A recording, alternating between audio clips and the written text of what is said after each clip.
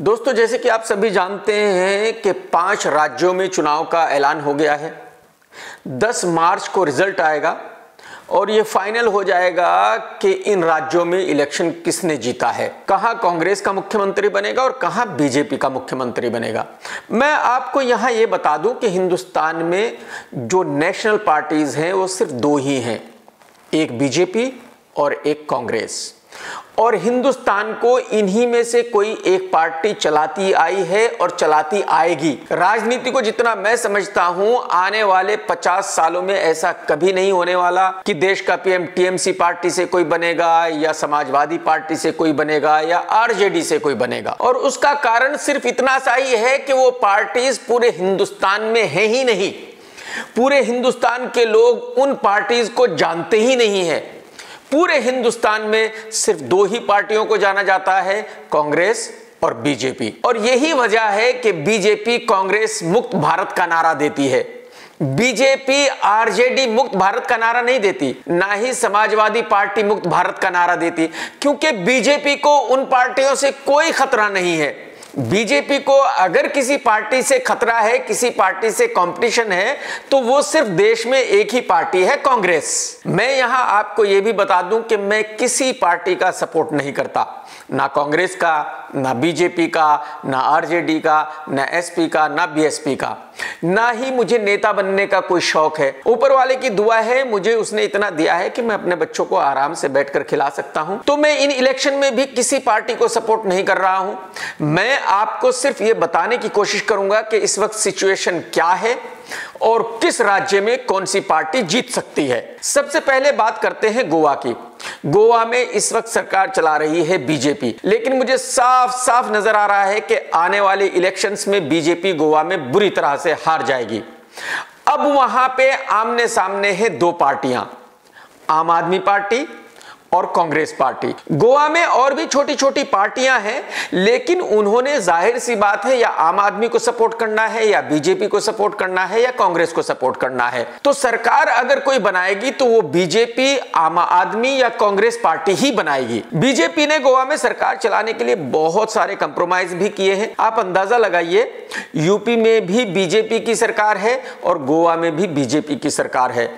UP में गाय को काटने के लिए बहुत सख्त सजा मिलती है, लेकिन गोवा में उस गाय को काटने के लिए कोई सजा नहीं है। यानी कि एक ही गाय बीजेपी वालों के लिए यूपी में माता है, लेकिन गोवा में माता नहीं है। तो इससे आप अंदाज़ा लगा सकते हैं कि पॉलिटिक्स करने के लिए क्या क्या करना पड़ता है।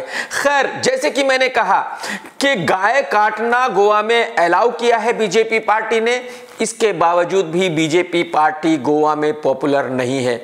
और मुझे ऐसा लगता है कि गोवा में आने वाली सरकार कांग्रेस पार्टी ही बनाएगी। उसकी वजह यह है कि आम आदमी पार्टी भी कोई बड़ी पार्टी नहीं है।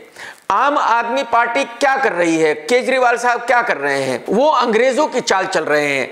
एक्चुअली केजरीवाल साहब अभी दिल्ली में सरकार चलाते हैं।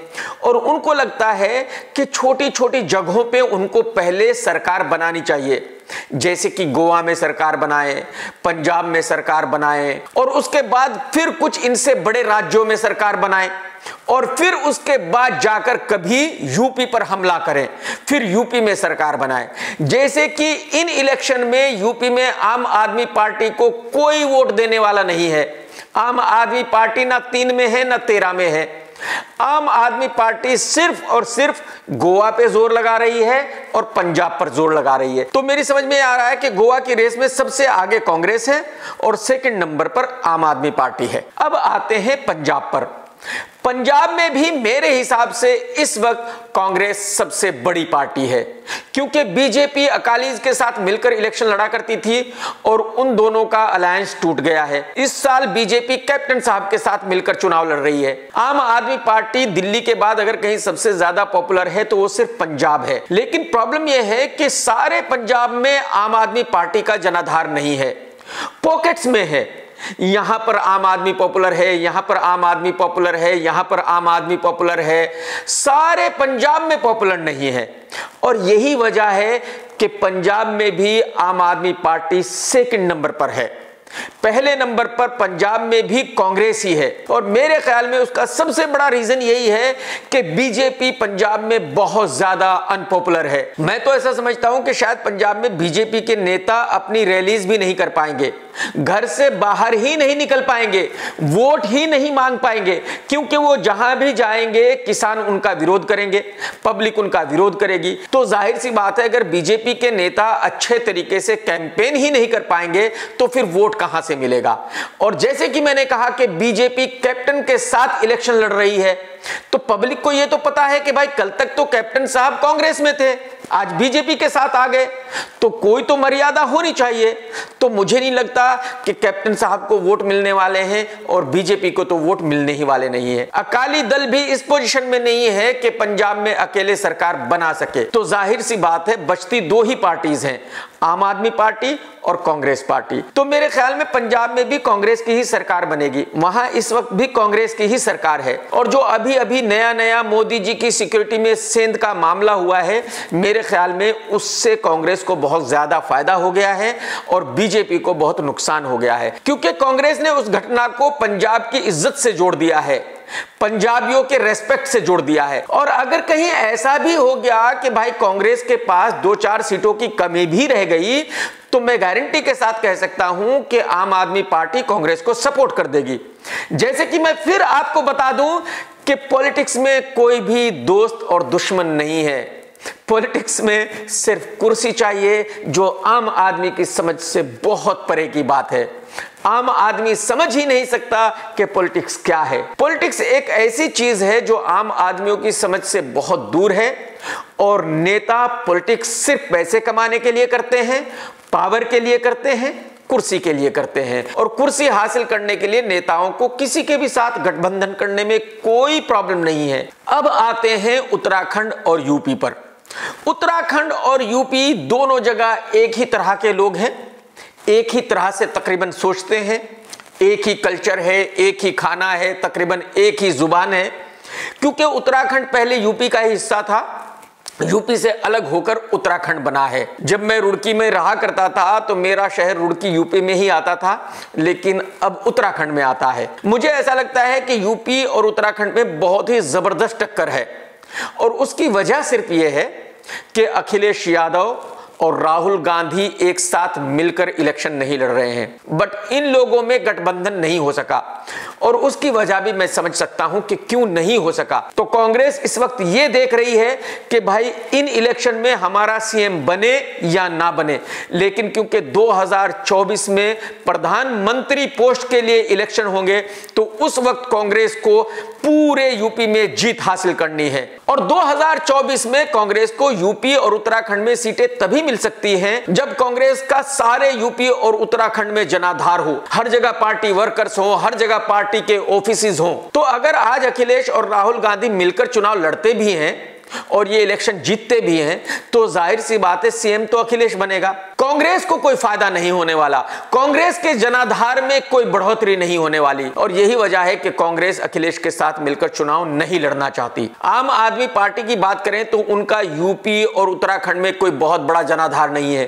मुश्किल से अगर एक दो सीट भी मिल गई तो बहुत बड़ी बात है। और बीएसपी का भी यही हाल है, वो पार्टी भी खत्म हो चुकी। तो शायद वो भी सिर्फ़ वोट काटने का ही काम करेगी। तो इस वक्त उत्तराखंड में शायद बीजेपी और कांग्रेस की टक्कर है और यूपी में एसपी और बीजेपी की टक्कर है। लेकिन प्रॉब्लम यह है कि अगर एक सीट पर चार पाँच कैंडिडेट होंगे आम आदमी पार्टी का, एसपी का, बीजेपी का, कांग्रेस का, मायावती का तो वोट बहुत ज़्यादा डिवाइड हो जाएँगे। और जब वोट डिवाइड हो जाएँगे तो फिर ज़ाहिर सी बात है बीजेपी जीत जाएगी। क्योंकि बीजेपी के 20-25 परसेंट वोट वो हैं जो किसी और के पास नहीं जा सकते। ये लोग वो हैं जो तन, मन, धन से बीजेपी के साथ हैं। ये लोग वो हैं कि भूखे रह लेंगे, नंगे रह लेंगे, बच्चों को तालीम नहीं मिलेगी, कोई प्रॉब्लम नहीं है बच्चों के लिए घर नहीं बना पाएँगे, कोई प्रॉब्लम नहीं है, लेकिन वोट तो बीजेपी को ही देंगे, वोट तो मोदी और योगी को ही देंगे, क्योंकि वो हमारे लोग हैं, वो हिंदुस्तान में हिंदू राष्ट्र बनाना चाहते हैं। तो मेरे ख्याल में जो अखिलेश यादव सोच रहे हैं, वो होने वाला नहीं है। अखिलेश उसका उलट सोच रहे हैं। अखिलेश ऐसा सोच रहे हैं कि भाई यूपी में कोई भी खुश नहीं है, ना किसी के पास काम है, ना घर में खाने को रोटी है, ना पहनने को कपड़ा है, और इतनी महँगाई है। तो ज़ाहिर सी बात है बीजेपी को वोट कोई नहीं देगा। बट प्रॉब्लम यह है कि ये जो 20-25 परसेंट लोग हैं जो धर्म जाति को सब कुछ मानते हैं, उनके लिए रोटी, कपड़ा, मकान कुछ नहीं है। वो तो धर्म के लिए मरने मिटने को तैयार हैं। तो ज़ाहिर सी बात है, वो अखिलेश यादव को वोट नहीं देंगे। वो भूखे मर जाएँगे, कोई प्रॉब्लम नहीं है। वो नंगे रह लेंगे, कोई प्रॉब्लम नहीं है। भाई, उनके साथ कितना भी बुरा हो जाए, उसकी कोई चिंता नहीं है। वो वोट बीजेपी को ही देंगे। वो वोट योगी और मोदी जी को ही देंगे। तो मेरे ख्याल में अखिलेश यादव ये कैलकुलेशन नहीं कर पाए हैं। तो मैं ऐसा समझता हूँ कि अब यूपी में बीजेपी रेस में है।